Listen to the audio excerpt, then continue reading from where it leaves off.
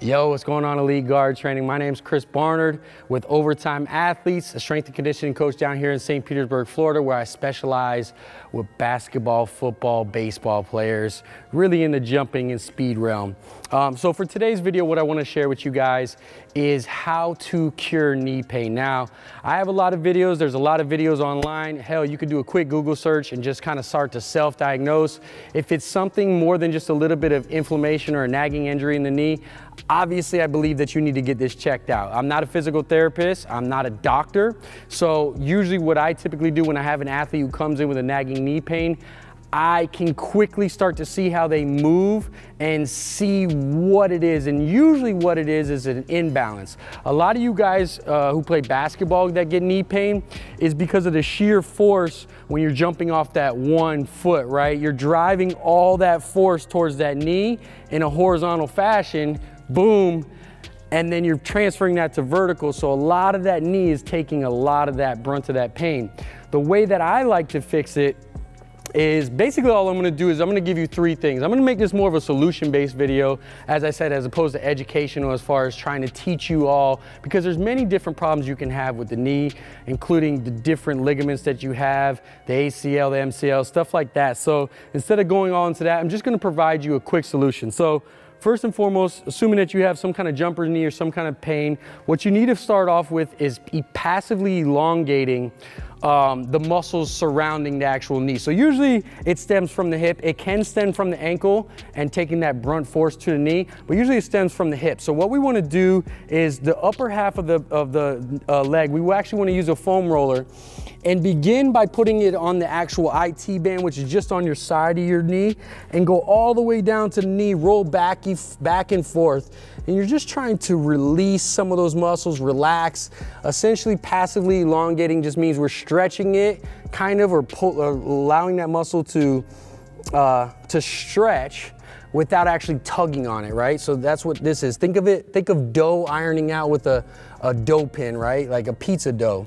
Um, you really want to get your quadriceps, the top of your muscles here, right above the knee, especially if you're experiencing the pain, which jumper's knee is just patellar tendonitis right across the knee here. Um, so you really want to make sure you hit this area and then hit the adductors, which are going to be the muscles inside your leg right here. You're just going to take the foam roller, put it here, and then roll out, same thing just like that. Now the next step after you're pretty much warmed up is we want to address what the, some of the imbalance could potentially be.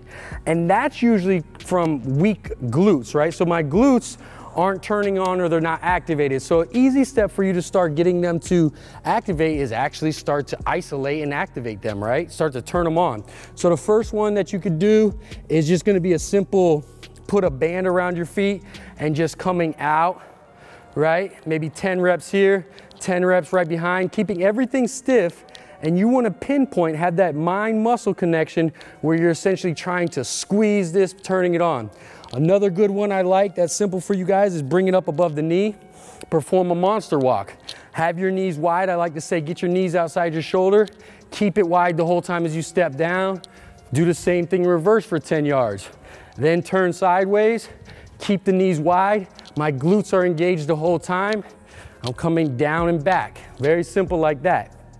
Third solution, and remember you're doing all three of these, is going to be to essentially start to address the inflammation as it is. So for us to get stronger, um, by turning on the glute indirectly, by stretching out the, this to relieve the inflammation, right? By, by, by uh, performing the foam roller, this is gonna strengthen across the knee. And what we call this is band TKEs, terminal knee extensions. And essentially what we're trying to do, it's a really good rehab exercise or, re, or prehab for people who've torn the ACL, it starts to relieve across the knee, but really what we're trying to do is strengthen those across the kneecap. So you're just gonna stay back, make sure the band's taut. From here, I'm gonna go on a toe. The band is tight. From this stent, all I wanna do is straighten it out by driving the back of my knee back and driving my heel to the ground, locking out across the knee. Getting that good contraction across the knee here, boom, and I'll perform a series of 10. So to run down real quick, if you're experiencing it, simple solution for you to add into your training, foam roll, IT band, quad, adductors, turn on the glutes, do a series of monster walks or band hip activation, perform a series of two sets of 10, of 10 band TKEs to really strengthen and address that actual muscles and ligaments across the knee. Try that out. Hope it helps you guys out. Appreciate you guys having me on. I'll at you next time.